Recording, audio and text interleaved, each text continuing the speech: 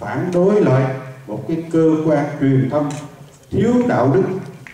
Với tư cách là một nhà báo chúng, tôi thấy cái anh AC Thompson đó là một cái nhà một cái người làm truyền thông không có đạo đức.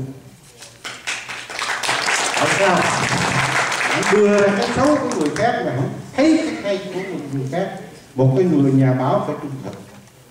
Một cái việc mà FBI cũng như CIA họ làm việc cả chục năm.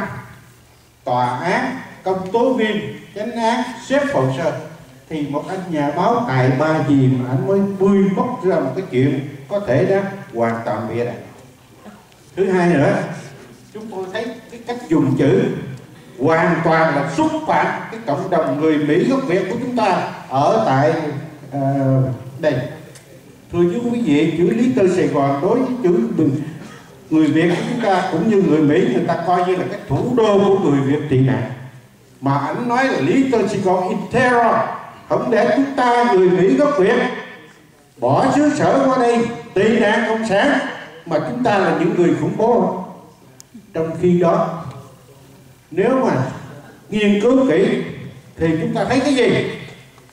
Cái chữ khủng bố này là cái chữ cộng sản hà nội đã trong bốn anh em việt tân.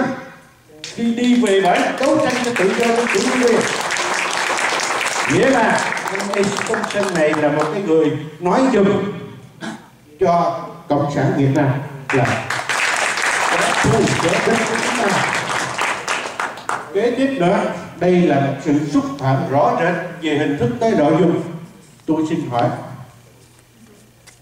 sau khi có những yếu tố rất là đầy đủ để mà truy tố cái anh nhà báo này, hai anh nhà báo này, và đến cái cơ quan về mình cũng như về họ, thì quý đã và sẵn đây chúng tôi xin hỏi luôn, cộng đồng đã có mặt. Thứ nhất là có ông chủ tịch.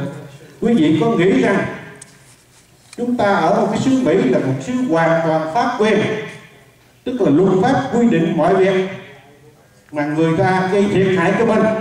Một cái tập thể lớn lao như vậy, thì quý vị nghĩ rằng có thể dùng cái biện pháp pháp lý để đặt vấn đề với cái cơ quan đã gây thiệt hại cho vật chất, tinh thần cho người Mỹ gốc Việt chúng ta hay không? Xin hết.